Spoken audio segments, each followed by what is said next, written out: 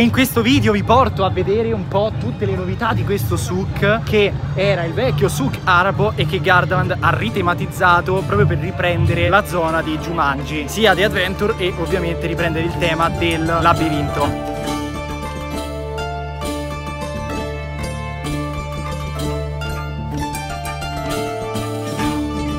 E ora finalmente entriamo al souk arabo, al vecchio souk arabo di Gardaland. Andiamo a scoprire tutto ciò che hanno combinato qui dove c'era il vecchio souk che era uno spettacolo. Parte ovviamente l'hanno utilizzata per Jumanji The Labyrinth e parte l'hanno lasciata qui aperta per creare un collegamento. È molto piccola in realtà questa zona però voglio portarvi a scoprire un po' cosa offre E soprattutto voglio sapere voi cosa ne pensate perché questa era una zona veramente bellissima Tema appunto egiziano eccetera. Voglio sapere quindi la vostra soprattutto perché ripeto essendo una zona secondo secondo me delle migliori del parco. Vediamo se comunque ancora questa nuova veste di Jumanji rende come rendeva prima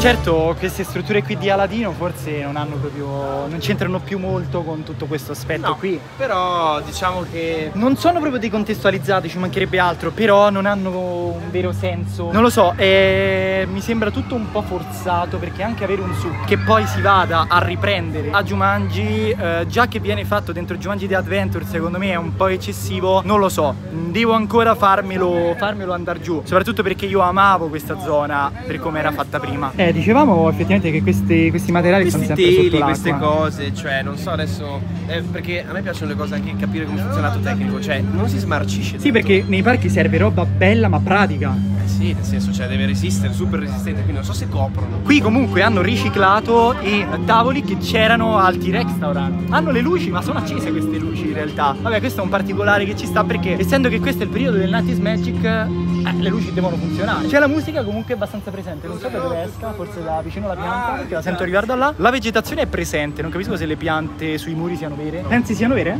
No, non è vero, non è vero. Queste no, però quelle là sopra, l'edera sicuramente sì, quelle no, dietro No, sì. non sono sicuro, sai. Dici neanche l'edera? No, no, neanche quella perché si vede palese che è finta. Sì, no, questa parte è completamente finta. Lì indietro però ovviamente ci sono delle piante che sono vere. Comunque la musica è molto bella e mi piace anche molto che hanno utilizzato questi cestini qua e ci sta anche comunque il muretto qui laterale, è comunque in tema.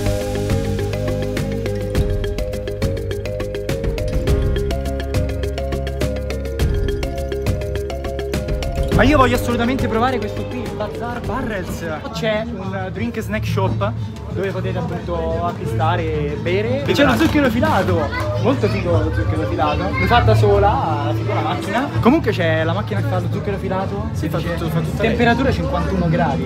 Ok, qua c'è uno shop praticamente automatico di Jumanji. Perché vabbè, ce ne serviva un altro, no? Dopo, dopo quello che sta Jumanji da dentro. Oh, vabbè. 22 euro una busta. Madonna, madonna. È lavico, è Scusa, lavico. il lac. Lavico Ah, lavico. hai inter- eh, Questo è intermattato in Guarda la temperatura 40.7 gradi. Allora, ogni giocata è composta da due palline, ok? Due palline della stessa giocata dentro e vinci un premio, scelta tua. L'unica consiglio che ti do di non mirare là, ma bensì i lati. Aspetta, devono entrare due dentro la stessa. Due della stessa giocata, due della stessa cosa. Ma Daniele, non è Non capisco nulla. Vediamo se riesco. Perché sicuro rimbalzi. Bravo, bravo. Eh, beh, hai affinato la tecnica, Ho affinato la tecnica, queste invece le lascio a Davide. Quante... Oh santa Maria. Occhio adesso che... Silenzio. Tutto ha capito. Grazie No, Davide. Grazie, ottimo. Oh, abbiamo appena buttato 5 euro. Però siamo divertiti. Sì, sì, sì. No, no. Sì. Oh, e qui invece c'è il Magic Mirror, ossia lo specchio magico, non so cos'è in realtà. 5 Vabbè, euro. Ah, ti fa fare le foto. È tutto a pagamento di sto succhio, cioè, non ho capito. Qualsiasi cosa si paga a parte il C'è scritto che labirinto. devo pagare, ma non so cosa viene fuori. cioè Sì, escono fuori queste foto, queste foto animate. No, ragazzi, va bene tutto, ma 5 euro per lo specchio magico dove esce la foto animata? Anche no.